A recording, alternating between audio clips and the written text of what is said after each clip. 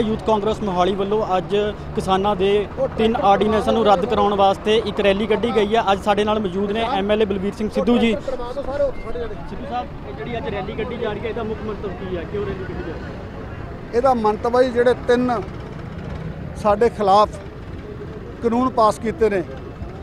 Centre government ਨੇ ordinance ਪਹਿਲਾਂ ਬਣਾਇਆ, ਫਿਰ ਕਾਨੂੰਨ ਬਣਾਇਆ। ਉਹਦੇ ਨਾਲ ਸਾਡਾ ਪੰਜਾਬ ਦਾ, ਇੱਕ ਤਰ੍ਹਾਂ ਦੀ ਸਾਡੇ ਪੰਜਾਬ ਦਾ ਮੈਂ ਇਹ ਕਹਿ ਸਕਦਾ ਗਲਾ ਘੋਟਿਆ ਹਰਿਆਣੇ ਦਾ ਗਲਾ ਘੋਟਿਆ ਕਿਸਾਨੀ ਦਾ, ਜਿਹੜਾ ਕਿਸਾਨ 55% ਪੂਰੇ ਹਿੰਦੁਸਤਾਨ ਦੇ ਫੂਡ ਦਾ ਦੇ ਵਿੱਚ ਆਪਣੇ ਪੂਲ 'ਚ ਕੰਟਰੀਬਿਊਟ ਕਰਦਾ ਹੋਵੇ, ਅੱਜ ਉਹ ਕਿਸਾਨ ਸੜਕਾਂ ਤੇ ਕਰਤਾ। ਇਹ ਇਹਨੇ ਮੋਦੀ ਨੇ ਬਹੁਤ ਵੱਡਾ ਇੱਕ, ਮੈਂ ਕਹਿੰਦਾ ਨਾ ਬਰਦਾਸ਼ਤਯੋਗ ਨਾ ਸਹਿਣਯੋਗ ਕਦਮ ਹੈ। ਔਰ ਜਿਹਦੀ ਕਿਤੇ ਵੀ ਉਹ ਨਹੀਂ ਹੈ, ਮੈਂ ਇਹ ਗੱਲ ਜ਼ਰੂਰ ਕਹੂੰਗਾ ਕਿ ਮੋਦੀ ਸਾਹਿਬ ਇਹ ਕੁਰਸੀਆਂ ਸਦਾ ਨਹੀਂ ਰਹਿੰਦੀਆਂ, ਪਰ ਲੋਕ ਇਸ ਗੱਲ ਨੂੰ ਭੁੱਲਦੇ ਨੇ ਕਿ ਜਿਹੜਾ ਗਲਤ ਫੈਸਲੇ ਲੈਂਦਾ, ਉਹਦੇ ਖਿਲਾਫ ਹਮੇਸ਼ਾ ਕਾਰਵਾਈ ਹੁੰਦੀ ਹੈ। ਇਹ ਰੈਲੀ ਸਰ ਕਿੱਥੋਂ ਤੋਂ ਅੱਜ ਮੋਹਾਲੀ ਦੇ ਸੈਕਟਰ 80 ਤੋਂ ਸ਼ੁਰੂ ਹੋਈ ਹੈ ਕਿੱਥੋਂ ਦੀ ਕਿੱਥੇ ਤੱਕ ਜਾਏਗੀ? ਇਹ ਰੈਲੀ ਜਾਏਗੀ ਦਿੱਲੀ ਨੂੰ। ਅੱਛਾ ਜੀ। ਦਿੱਲੀ ਤੱਕ ਜਾਣਗੇ ਨੌਜਵਾਨ। ਹਰਸਿਮਰਤ ਕੌਰ ਬਾਦਲ ਤਾਂ ਅਨਪੜ੍ਹ ਹੈਗੀ ਹੈ ਪਰ ਉਹ ਬਾਹਰਲੇ ਮੁਲਕਾਂ 'ਚ ਪੜ੍ਹੀ ਹੋਈ ਹੈ। ਉਹਦੇ ਘਰ ਵਾਲਾ ਅਮਰੀਕਾ ਪੜ੍ਹਿਆ ਉਹ ਵੀ ਅਨਪੜ੍ਹ ਹੈ। ਕਿ ਉਹਨਾਂ ਨੂੰ ਪੰਜਾਬੀ ਜਾਂ ਅੰਗਰੇਜ਼ੀ ਨਹੀਂ ਆਉਂਦੀ ਉਹਨਾਂ ਨੂੰ ਉੱਥੋਂ ਦੀ ਭਾਸ਼ਾ ਆਉਂਦੀ ਆ। ਜਾਂ ਫਰਾਂਸ ਜਾਂ ਸੈਪਨੀ ਸਪੇਨ ਦੀ ਭਾਸ਼ਾ ਜਾਣਦੇ ਆ ਉਹ ਜਾਂ ਜਰਮਨੀ ਡੱਚ ਜਾਣਦੇ ਆ ਉਹ। ਇੱਥੋਂ ਦੀ ਜਾਂ ਉਹ ਜਾਪਾਨ ਦੀ ਭਾਸ਼ਾ ਜਾਣਦੇ ਆ। ਉਹਨਾਂ ਨੂੰ ਜੇ ਉਹਨਾਂ ਦੇ ਐਨਕਾਂ ਨਹੀਂ ਹੈਗੇ ਚਸ਼ਮੇ ਅਸੀਂ ਭੇਜ ਦਿੰਦੇ ਅੱਜ ਜੋ ਮਰਜ਼ੀ ਕਹਿਣ, ਕਿਉਂ ਨਹੀਂ ਪੜਿਆ ਇੱਕ ਐਡਾ ਵੱਡਾ ਫੈਸਲਾ ਹੋਇਆ ਅੱਜ ਸਟੇਟ ਦੇ ਸੰਬੰਧ ਵਿੱਚ, ਮੈਂ ਕੈਬਨਿਟ ਦੇ ਵਿੱਚ ਵਜ਼ੀਰ ਹਾਂ। ਕੱਲ ਨੂੰ ਮੇਰੀ, ਮੇਰੇ ਹਲਕੇ ਦੇ ਖਿਲਾਫ, ਮੇਰੇ ਉਹਦੇ ਕੋਈ ਮੇਰੇ ਉੱਪਰ ਕੈਬਨਿਟ ਫੈਸਲਾ ਆਵੇ ਤੇ ਮੈਂ ਉਹਨੂੰ ਅਪੋਜ਼ ਨਾ ਕਰਾਂ, ਤਾਂ ਮੈਨੂੰ ਵਜ਼ੀਰ ਬਣਨ ਦਾ ਕੋਈ ਰਾਈਟ ਨਹੀਂ ਹੈ।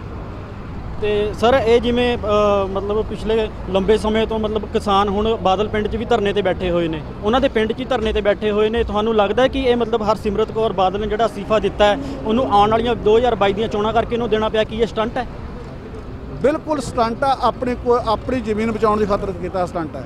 ਜੇ ਇਹੀ ਸਟੈਪ 6 ਮਹੀਨੇ ਪਹਿਲਾਂ ਜੋ, ਜਦੋਂ ਜੂਨ ਦੇ ਵਿੱਚ ਇਹ ਆਇਆ ਸੀ, ਉਦੋਂ ਲਿਆ ਹੁੰਦਾ ਸ਼ਾਇਦ ਅੱਜ ਇਹ ਹਾਲਾਤ ਨਾ ਹੁੰਦੇ। ਨਹੀਂ, ਕਹਿੰਦੇ ਸੀਗੇ ਵੀ 3 3 ਮਹੀਨੇ ਪਹਿਲਾਂ ਮਤਲਬ ਸਾਰੇ ਅਕਾਲੀ ਦਲ ਦੇ ਆਪਸੀ ਮੀਟਿੰਗ ਹੋਈ ਸੀਗੀ ਕਿ ਉਦੋਂ ਨਹੀਂ ਉਹਨਾਂ ਨੇ ਮਤਲਬ ਇਹ ਲੈ ਸਕਦੇ ਸੀ ਫੈਸਲਾ ਵੀ ਅਸੀਂ ਮਤਲਬ ਇਹ ਆਰਡੀਨੈਂਸ ਆਣੇ ਨੇ ਵੀ ਤੁਹਾਨੂੰ ਇਹ ਨਹੀਂ ਪਤਾ ਵੀ ਤਿੰਨ ਦਿਨ ਪਹਿਲਾਂ ਮੀਟਿੰਗ ਹੋਈ ਹੈ, ਜਿੱਥੇ ਇਸ ਆਰਡੀਨੈਂਸ ਦੀ ਪਿੱਠ ਮੋਦੀ ਪਿੱਠ ਥਾਪੜੀ ਇਹਨਾਂ ਨੇ ਕਿ ਸਹੀ ਫੈਸਲਾ ਹੈਗਾ। ਅਤੇ ਹੁਣ ਜਦੋਂ ਉਹਨੂੰ ਅੱਗ ਬਾਦਲ ਦੇ ਘਰ ਤੱਕ ਪਹੁੰਚ ਗਈ ਔਰ ਕਿਸਾਨਾਂ ਉਸ ਜਾ ਕੇ ਖੁਦਕੁਸ਼ੀਆਂ ਕਰਨੀ ਕਰਨੀਆਂ ਸ਼ੁਰੂ ਕਰਤੀਆਂ, ਤਾਂ ਬਾਦਲ ਨੂੰ ਹੋਸ਼ ਆਪਣਾ ਹੋਸ਼ ਆਣੇ ਦਾ ਕੀ ਫਾਇਦਾ? ਸਭ ਕੁਝ ਗਵਾ ਕੇ ਆਈ ਤਾਂ ਕੀ ਫਾਇਦਾ? ਤੁਹਾਨੂੰ ਕੀ ਲੱਗਦਾ ਤੁਹਾਡੇ ਵੱਲੋਂ ਜਿਹੜੀ ਅੱਜ ਰੈਲੀ ਨੂੰ ਹਰੀ ਝੰਡੀ ਦੇ ਕੇ ਤੋਰਿਆ ਗਿਆ ਹੈ ਵੀ ਇਸ ਤੋਂ ਬਾਅਦ ਅਗਲਾ ਸਟੈਪ ਕੀ ਹੋਏਗਾ? ਕਾਂਗਰਸ ਪਾਰਟੀ ਹਮੇਸ਼ਾ ਸ਼ਾਂਤੀ 'ਚ ਵਿਸ਼ਵਾਸ ਰੱਖਦੀ ਹੈ। ਪੀਸਫੁਲ ਡੈਮੋਕ੍ਰੇਸੀ 'ਚ ਵਿਸ਼ਵਾਸ ਰੱਖਦੀ ਹੈ।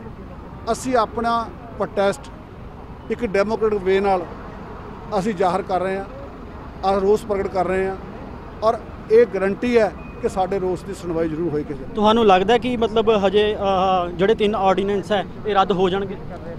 ਦੇਖੋ ਇਹ ਤਾਂ ਉਹਨਾਂ ਕੋਲੇ ਉਹ ਹੈ ਪਰ ਮੈਂ ਗਰੰਟੀ ਕਰ ਸਰਕਾਰ ਸੈਂਟਰ ਕਾਂਗਰਸ ਪਾਰਟੀ ਬਣੂ ਪਹਿਲੇ ਦਿਨ ਇਹ ਰੱਦ ਹੋਣਗੇ।